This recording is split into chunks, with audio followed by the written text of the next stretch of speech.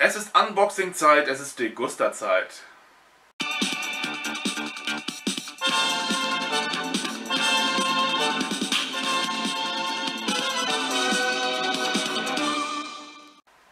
Hallo meine Lieben, da sind wir wieder mit der Deguster-Box pünktlich vor Weihnachten. Ich bin sehr gespannt, ob da auch Weihnachtliches drin ist. Äh, in der November-Box war auch schon ein bisschen Lebkuchen drin und so. Und äh, ja, mal sehen, ob das was wird äh, mit der Box. Ich habe gar nicht mehr damit gerechnet. Ich habe gedacht, die kommt vielleicht nach Weihnachten oder so. Aber da war sie. Und ähm, habe mich gleich vor die Kamera gesetzt. Und habe mir gedacht, jo, jetzt packen wir aus. Übrigens ist es eine andere Kamera und ich muss mal gucken, wie das mit dem Ton ist und ob die andere vielleicht doch besser war oder nicht. Und deswegen ähm, bitte ich das zu entschuldigen, wenn der Ton schlechter sein sollte. Ich habe jetzt keine zwei Kameras aufgestellt, sondern nur diese eine. Und ich hoffe, dass die sogar etwas besser ist. So, legen wir los. Eigentlich nicht zu weit ins Paket schneiden. So. Schön. Ja, wir fangen mal an. Oh, wie geil ist das denn? Papier! Nein, Spaß. das ist Spaß. Ich will die Packung lesen. Ähm, ja, ich hoffe, der Ton ist wirklich besser. Das ist eine äh, probiere meine Spiegelreflexkamera aus. Oh, ja, hier ist nochmal der Loot-Sheet. Hier ist äh, Beipackzettelchen. Aber ich probiere meine Spiegelreflexkamera aus mit, der intrigierten, äh, mit dem intrigierten Ton. Und äh, wenn das besser ist, beziehungsweise dann äh, stampfe ich die alte Kamera ein, obwohl die alte Kamera ist die neuere Kamera, weil das ein iPhone 6S ist. Gucken wir mal, was haben wir denn hier? Gridos, Original. Das ist irgendwie, was ist das? Der besondere Knabberspaß mit vielen Formen. Das ist hier so acht. Luftig leichter Snack. Also ein luftig leichter Snack. Ja. Ich glaube, das passt, oder? Gut aus. So. Schoko-Oli. Ja. Feine Zartbitterschokolade. Das äh, kenne ich schon. Auch ganz cool. Kann man machen. Ähm, ja, was soll ich jetzt dazu sagen? Soll ich die jetzt auspacken und essen? Ich weiß ja nicht. Oh ja. Ich mag ja persönlich Beefy, viele mögen sie ja nicht. Äh, ich mag Beefy. Und dann haben sie einfach mal hier ein paar Beefy Snacks reingetan. Und finde ich ganz okay.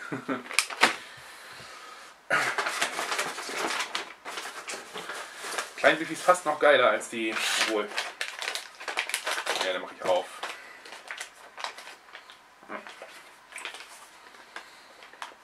Ja, die kleinen Beefies sind geiler.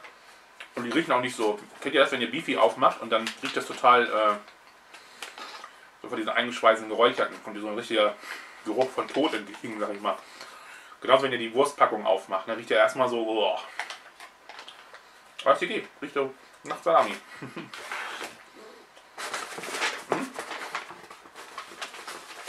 Sehr nice. oh! Hm aus Die Höhle der Löwen. Das kennt ihr vielleicht. Das ist äh, Kaugummi. Mal zu sehen? Das ist äh, aus der Höhle der Löwen, kenne ich das. Es ist nämlich nicht ein Kaugummi, es ist das Kaugummi. Aus der Höhle der Löwen, ich glaube, die haben kein Deal. Doch, die haben einen Deal bekommen, glaube ich, ne? Wisst ihr das noch? Das Kaugummi? Haben die einen Deal bekommen? Ich glaube ja, ne? 11, 11 Dragés zuckerfrei. Geschmack Zitrone Basilikum. Also nach den, nach den ähm, Beefies ist es eigentlich ganz gut. Finde ich schön. Guck mal, kommt was aus der Höhle der Löwen. Kommt sogar hier noch äh, in der Ligusta-Box an. Das finde ich doch ganz nice. Oh. Ja. Tuck-Cracker. Ähm, die hatten wir letztes Mal, glaube ich, auch. Äh, also war einmal Tuck-Cracker Original dabei und Tuck-Cracker mit Käse. Die Originalen fand ich ganz geil, die mit Käse, weiß ich nicht, die haben so richtigen muffigen Geschmack gehabt, finde ich. Die fand ich so semi-optimal. Und naja, Tuck-Cracker halt, ne? Mit Chili-Geschmack. Sweet Chili. Vielleicht schmecken die besser. Muss man mal gucken. Ja? Also gucken wir mal. So, gucken wir mal, was da noch so drin ist. So, ich fühle, das ist glaube ich, ja, was natürlich geil wäre jetzt äh, zu Weihnachten, also ist die ist jetzt am 22. ist die jetzt gekommen. Und was ganz geil wäre, wäre eine Sektflasche. Ich glaube, ich habe da auch schon eine gespürt. Ne? Die kann man irgendwie mitnehmen, so zum Silvester anstoßen. So, was haben wir hier? So. Erstmal die Kamera halten. So. Al-Navid. Rubinmorgen, Bio Super Müsli, Ariona Pflaume, Hä? Was steht da? Kakao. Äh, gekeimter Buchweizen, glutenfreie Haferflocken und Goji-Beeren. Mm. Bio, glutenfrei, vegan, alles dabei. Ne? Mit Magnesium und reich an Ballaststoffen, Süße aus Früchten. Kann man so ein bisschen sehen, wie das aussieht von der Seite. Ja. Ich habe ja Angst, dass die Kamera gar nicht richtig fokussiert. Wenn, wenn es so ist, dann tut es mir leid. Weil ich werde es nicht nochmal aufnehmen. Ich werde es einfach so hochladen. Und dann tut es mir wirklich leid. Also sind 300 Gramm Müsli drin. Und äh, ja, also Müsli geht ja immer, ne? So ein bisschen Mandelmilch dazu und so. Oder Kuhmilch, wie ihr wollt. Noch was drin? Ja. ja. Sieht aus wie Spaghetti-Soße. Und es ist Spaghetti-Soße. So, es ist Birkel Nudelab. Besonders herzhaft. Bolognese-Soße mit Bolo-Bällchen. Also da sind sogar Fleischbällchen drin. Und es ist noch verploppt. Also wenn man eins meiner Unboxing gesehen hat, da bin ich immer noch stinkig drauf, ne? dass da diese Thunfischcreme, dass die schon äh, geploppt war. Aber wahrscheinlich beim Transport irgendwo angeditscht oder so. Die auf jeden Fall gut verpackt und dann hast du hier lecker, zu sehen hier so die Nudeln. Bollo-Nudeln. Was Schönes? Oh. Point Grigio. Das ist äh, Weißwein. Äh, Valduna, die unbeschwerte Lebensfreude. Der spritzige Valduna, Point äh, Giorgio, bietet eine gelungene Kreation aus Frische, Frucht und würzigen Aromen. Ja, ne? Wenn sie nichts reintun, dann tun sie Weißwein rein. so in einer 0,5, also 25 Zentiliter. Ist doch ganz geil. Finde ich gut. Kann man machen. Ist auch immer ein nettes äh, Ding, wenn du mal irgendwo zum Freund, zu einer Freundin gehst bringst den kleinen Weißwein mit, dann passt das schon. Ah, hier. Noch ein bisschen was zu Weihnachten. Ne? So, kann man das sehen? Spekulatius glutenfrei. Ist das überhaupt richtig so? Ja, tatsächlich. Spekulatius glutenfrei, ähm, laktosefrei und weizenfrei. Also da ist nichts drin. Es ist glutenfrei, es ist weizenfrei, es ist, also Gluten ist ja Weizen, ne? Laktosefreie Kekse, Spekulatius, ist natürlich immer Hammer, ne? Also allgemein Spekulatius-Kekse. Also ich, ich könnte die auch so essen, auch wenn Laktose ein bisschen drin wäre. Das wäre jetzt nicht so schlimm.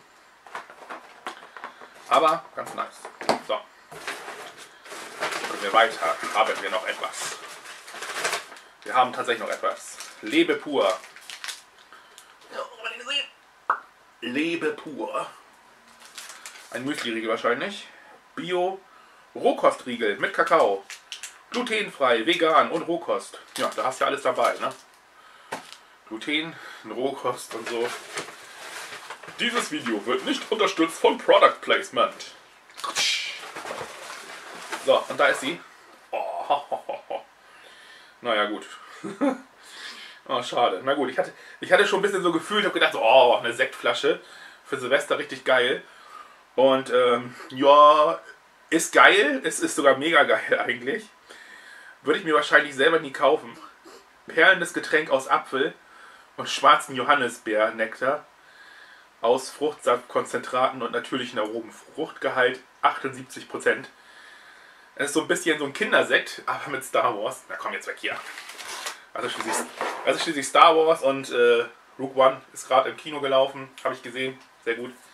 Unbedingt reingehen. Und hier haben wir diesen Kinderpunsch, sag ich mal, ne? Damit die Kinder auch dann zu Silvester noch ein bisschen äh, punschen können, wenn sie Bock haben. Mit Star Wars drauf. R2D2. Äh, Meister Yoda. dann Darth Vader noch mit drauf. Ein Stormtruppler. Und Apfel, schwarze Johannesbeere. Ja, ganz geil. So, das war's, glaube ich, ne? War's das?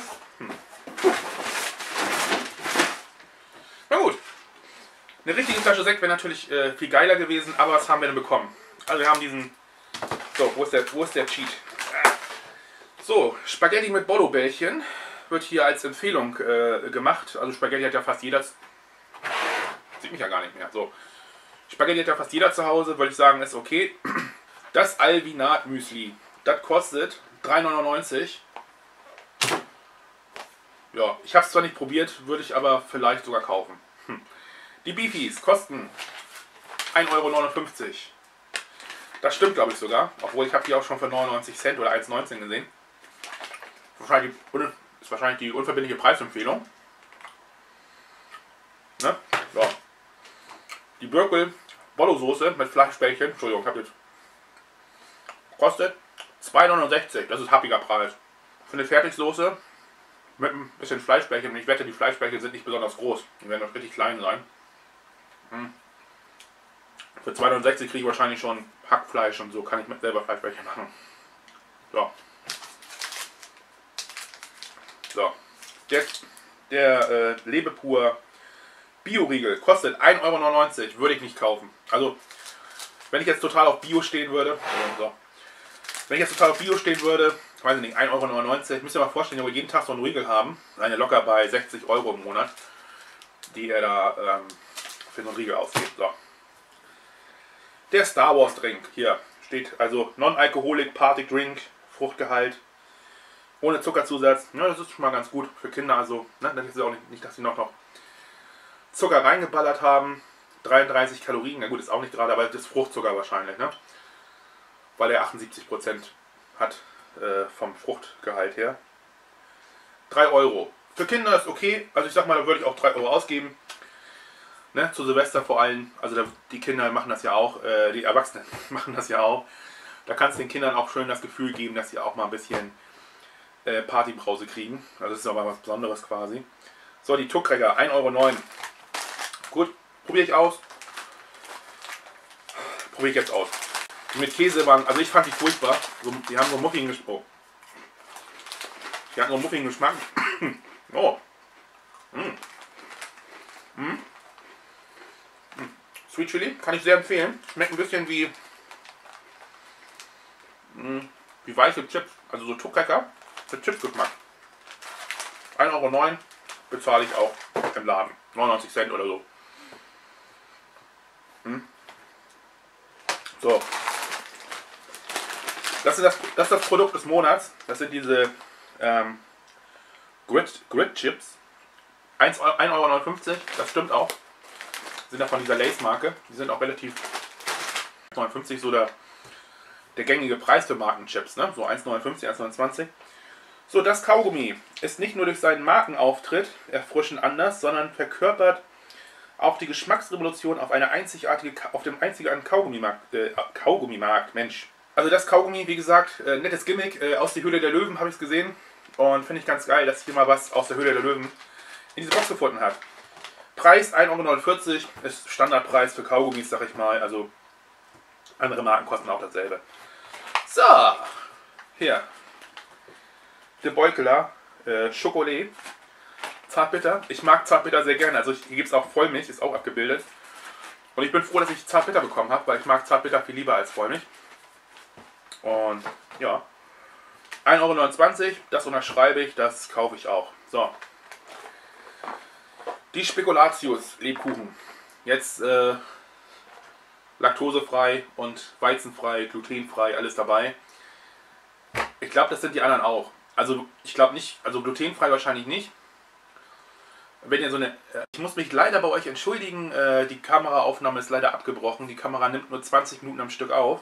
Und ich war wohl ein bisschen zu langsam mit der ganzen Sache. Und wir waren, glaube ich, zuletzt bei den Spekulatius-Keksen, als es ausgegangen ist. Und dann hatten wir hier noch den äh, Valduna Weißwein, Point Grino.